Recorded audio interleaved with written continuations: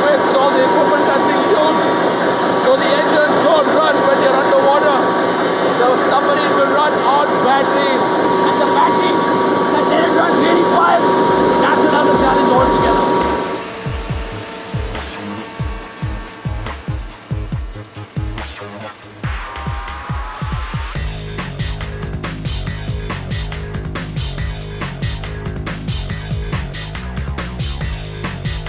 One of the uh, toughest place in the submarine, the battery pit. The heart of the submarine is the battery system because uh, the submarine's main uh, regime of propulsion is through batteries. Right. So when you're in deep water, you cannot run the engines. You will have to sustain on battery. That's right. That's why these batteries play a more important role Right. when we are dived underwater. All our propulsion, the power supply network in the submarine depends on this battery supply. The more we preserve them, the more we conserve them and use it judiciously, the more we can sustain underwater. And when we came here, you made sure that we had no pens, no coins, nothing. Why is that? Uh, That's right. Now we got a number of batteries which are connected, and these links are quite dangerous. They're high current carrying capacity Okay. nature. Now, if anything drops on these links, there's a Short tendency circuit. for a short circuit, and which may lead to battery fire, pit fire, or a battery pit explosion. Sure. So it's a, this is one of those really dangerous areas. Huh? And true. he, he can barely turn on his side. I mean, he's lying flat. Yeah, that, that's how he's uh, required to work. He cannot roll in. He's not able to move inside. That's why it's a, it's a challenging environment. So not all jobs that require you to lie on your back while you work are really easy and not dangerous at all. Some of them can be actually quite dangerous. Here's a game we'll play. Mayur, why don't you show us how to fit down there? Right. And I'll toss coins from here that you can catch with your teeth. Lovely.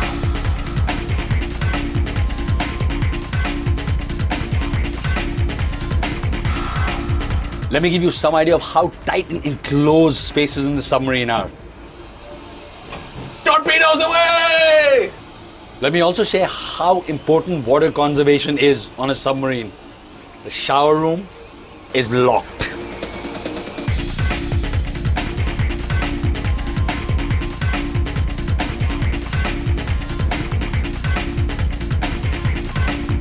This is a really tight kitchen. And that's a yummy meal which I'm going to tuck into right now.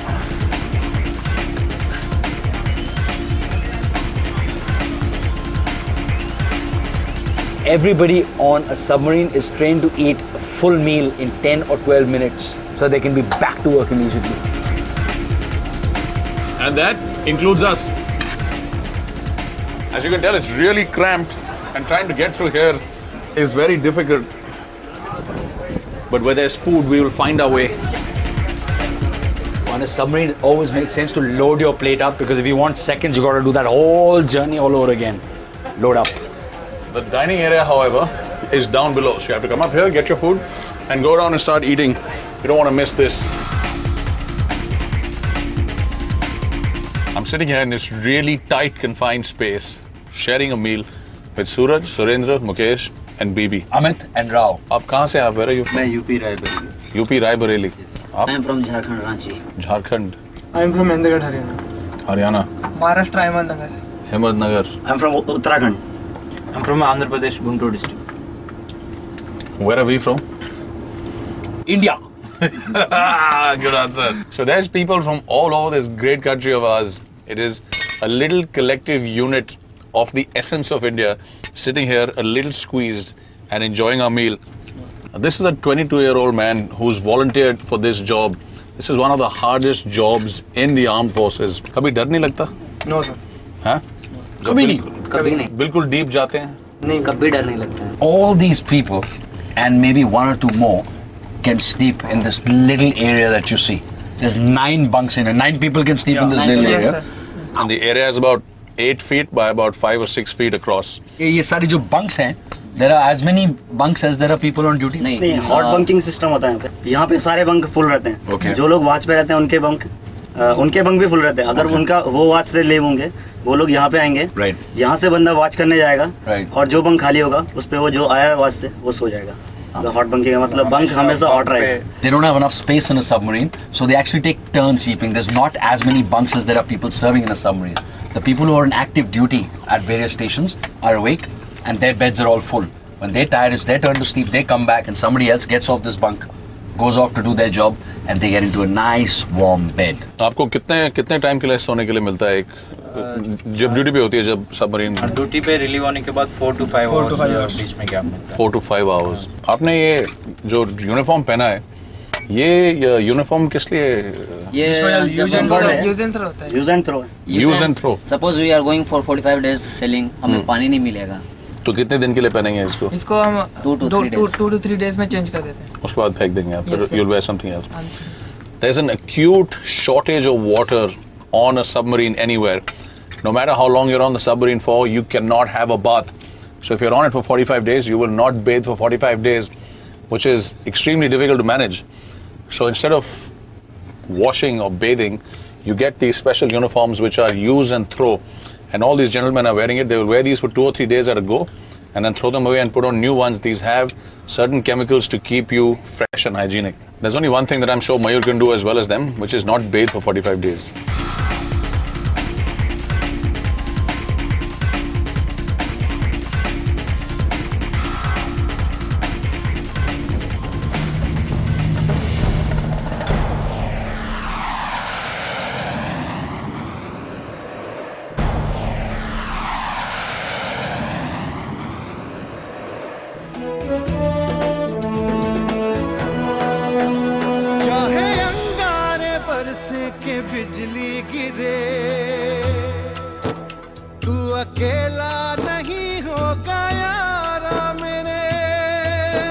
We're at the bow of the submarine. Right in front are these, the torpedo tubes. And this is where massive torpedoes come out of to attack the enemy. Because remember, submarine is an attack vehicle. And these torpedoes, some of them are almost as long as a bus, and come out of here, whack into the ships of the enemy and wreak huge amounts of havoc. It says torpedo loaded right there. This is a fully operational submarine as we told you before. Why don't you press that button, pull that lever, and we're ready to go. Because the only shipping around right now is friendly shipping, and we're not going to do that. This, though, besides being the business end for all the weaponry, is also very important because men can escape from this tube in case there are any emergencies. In case you need to get out of the submarine when it's over 100 meters below the water, this is one of the suits that you need to wear, and here's how it's done. Ravinder, yeah.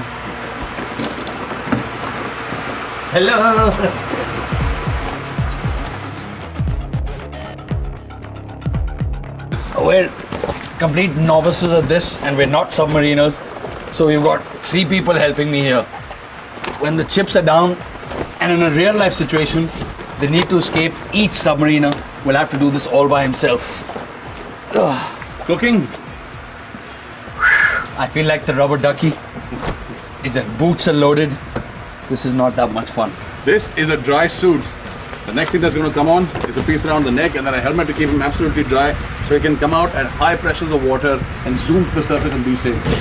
I'm a complete novice, so I have no idea why a dry suit is called a dry suit because right now I'm already soaked. You talk too much. Hold your breath.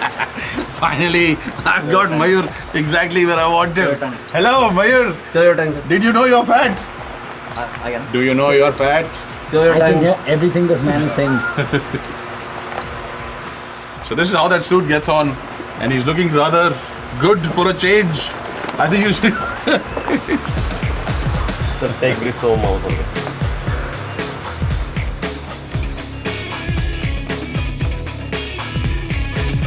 Mayonnaise. And sit down. Half down. Half sit. Now what we're doing is we're emptying out all the air from the suit, so there's a, a as little air in there as possible, and and to make sure that he's going to be able to breathe, we are then going to put on those gas tanks lying down there, and here's the best part: those gas tanks weigh about 15 kilos, but he doesn't know it yet.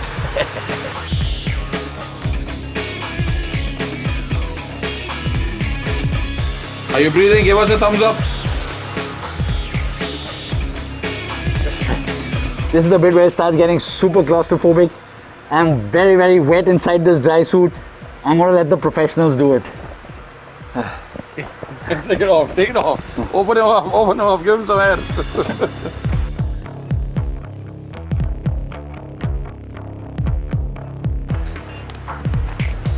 wow, if you thought the sub was claustrophobic, this is even more so. It's all wet inside this dry suit. You have to breathe through your mouth. And then when all this is on, you got to climb in there and you have to crawl for more than 20 feet in water to escape. Respect, all submariners, respect.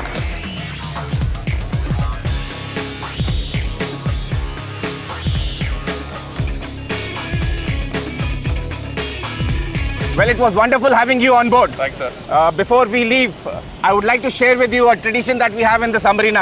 It's called baptism at sea. I would like to share with you a toast of the seawater that we've collected from the last deep dive that we carried out on the submarine. Please come and join me on this. Sounds delicious. And to hand us this toast is El Steward Shafiq. Thank you. Cheers, sir. Cheers to you and wishing you also a lot of dives to come. Thank you. Spectacular. It's been unusual, it's been rare, it's been splendid to be on board with the captain and all the crew members in the submarine. We'd like to give a huge thanks to the captain, the officers, and the men of the submarine for sharing their space with us, for sharing their food with us, and most importantly, for keeping our borders under the sea safe so that you and I can sleep easy in our beds at night. Thank you very much for having us here, sir. Welcome once again. A salute to the steel boat and the iron men. Jai Hind!